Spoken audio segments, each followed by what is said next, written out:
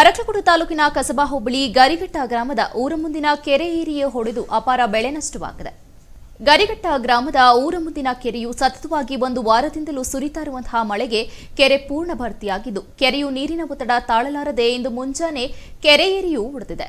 ಕೆರೆಯ ನೀರೆಲ್ಲ ಅಚ್ಚುಕಟ್ಟು ಪ್ರದೇಶದ ಬೆಳೆಗಳಾದಂತಹ ಶುಂಠಿ, ಅಲಸಂದೆ, ಜೋಳ, ಆಲೂಗೆಡ್ಡೆ, ಭತ್ತದ ಗದ್ದೆ, ತೋಟದ ಬೆಳೆಗಳಾದಂತಹ ಅಡಿಕೆ, ತೆಂಗು, ಬಾಳೆಗೆ ನೀರು ನುಗ್ಗಿದೆ.